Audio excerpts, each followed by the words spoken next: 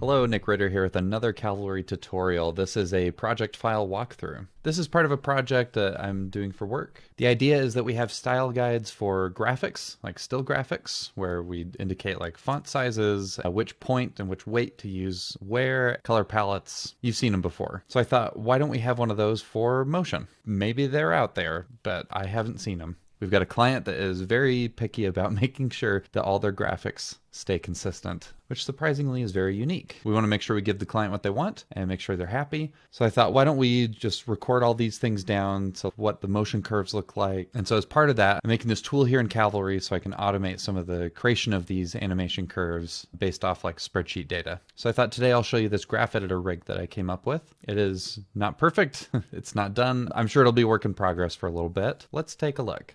If I move these handles, you can see the curve reacts to the handles movement like this. I have it constrained right now, so it only goes uh, left and right, not up and down. That's part of the future iterations. But you can take these keyframes and move them around. Currently the handle doesn't move with it, still figuring all that stuff out. So I'm just gonna pick this apart, kind of go layer by layer. So the first thing we'll take a look at is this S curve in here. That is done with a simple line shape. That's just right here in the tools panel. Now if you click on this and click and drag, it creates an editable shape. So what you have to do is you have to hold down Alt or Option and then click on the tool. And then you get this line and it shows up as basic line. What the basic line does that's unique from the other curves I've seen in Cavalry is it has this line type drop down and you can choose Bezier. And this is the thing that creates the Bezier curves all these yellow numbers are connected to things, but I can move these, uh, the Y of the start offset.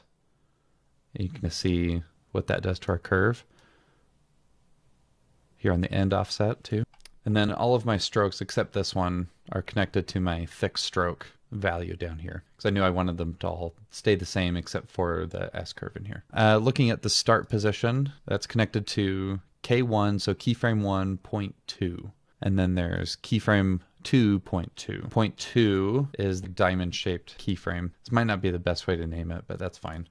And then uh, K1.2 is the other key here. Okay, so looking in here, uh, these are just null objects, has this little plus icon. And within that, I have my key shape here, so I can open up my key shape and let's just go wild with the size. Now this is a really cool thing. Uh, the shape's size changes on both, and the way that is done is I created this key uh, shape first, and then I right clicked on it and clicked create alias. And so that opened up this shape here and you can see there's several of these parameters that are green and the ones that are not green are copied over from the original shape. And some of these parameters have an option where you can right click and switch alias state, which means that that's another parameter that it'll copy data from the original shape. I'm just going to switch that back to the way it was. Some of the parameters don't have that option in alias. So if I right click on position, you'll see that the switch alias state is gone. Skew is that way. Let's see, pivot, rotation, scale is that way as well. Then if we look under K1.1 and K2.1, we have our ellipse shape. So the little circle at the very end.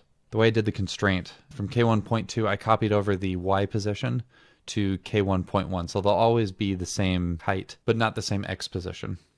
So just a quick and dirty constraint setup there. And then this is a little half-baked idea that I'll flesh out as I go along. But this indicates how many pixels away this point is from this point. A handy spot for me, I want to set it up so that it tells me how many frames I am away from that keyframe. I'm still figuring that out. Now, there's a couple different nodes we haven't looked at yet. The first one I'll take a look at is the bar nodes here. Next, we'll take a look at this K1 bar. It's the same node as K2 bar, and what it is, it's the points to curve shape. So I'll click on this, and what it does is it sets four different points for you. By default, you can always add more if you want. And then it creates a curve between those points. You can have Bezier on or you can have it off. In the case of these lines, I really just wanted them straight. So K1 bar and K2 bar, that's the line that connects the diamond to the circle. And to delete these points, you can right click on any one of these and delete selected attribute, and then you have less points. So what I did with these is I connected my K1.1 to K1.2, so that's the keyframe and the circle.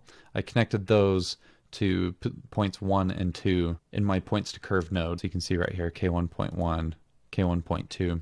So that way it would be a line that would connect the two points. So I can toggle this off and on. You can see what that does. And then I use the keyframe shape here as a mask on K1 bar. So if I go to the mask tab, It comes from the key alias shape. I guess I didn't rename that to anything useful.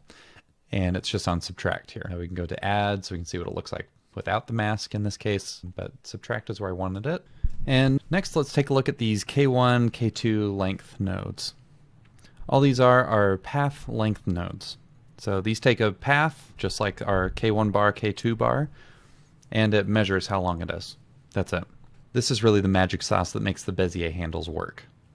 Optionally, you can use the measure node. You can measure between two different objects based on their pivot or their position. All you do is you just connect the layer in first target and second target. Then it gives you the measurement and that's what you can output. Um, so here's where that becomes useful is let's go back to our curve. This is our, our S curve here. So in our curve shape, we have our start offset that I showed you and the end offset. So I connected these length nodes to one of the offsets. And we can look on here and see which one. So this one is connected to the K1 length, so this one.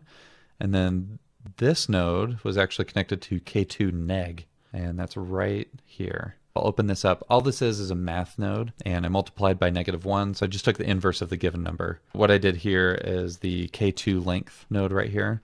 It calculates out to 615.622. I fed that value, just like this, into first 615622, same thing. And then I fed this final value in from here to end offset, just like that. Now as I move this null object, it changes the length of the path, and the length of the path changes the intensity of the Bezier handles. Let me know if you have any questions about this. Feel free to offer up suggestions for videos you want to see. Don't forget to like and subscribe to see more videos like this one. Thank you.